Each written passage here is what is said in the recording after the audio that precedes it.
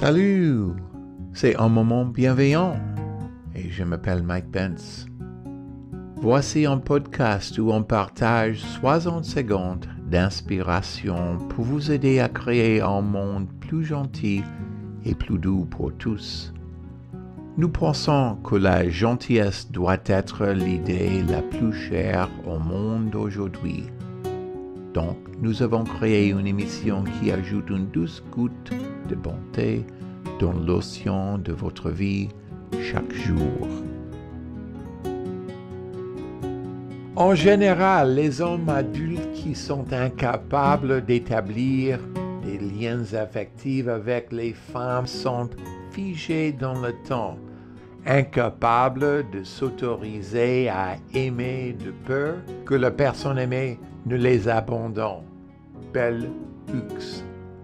La cécité émotionnelle est un trait culturel largement pratiqué par les hommes.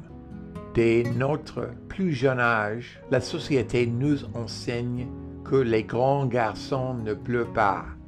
Ainsi, lorsque nous éprouvons des sentiments tendres, cette programmation nous informe que nous sommes des hommes imparfaits. C'est pourquoi le fait de puiser dans le courage d'un guerrier spirituel est très pertinent pour les hommes?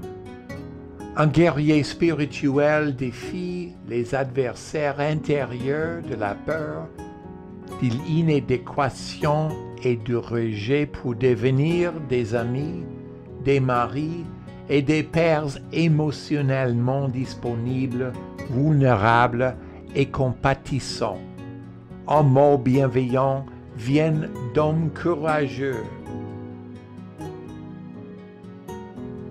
Merci de nous avoir rejoints. Ne doutez jamais, mes amis, que chacun est unique en son genre. J'espère que vous nous rejoindrez encore pour un peu de connexion, un petit sourire intérieur et une abondante portion d'espoir. Et rappelez-vous toujours qu'un mot bienveillant peut te changer. À la prochaine.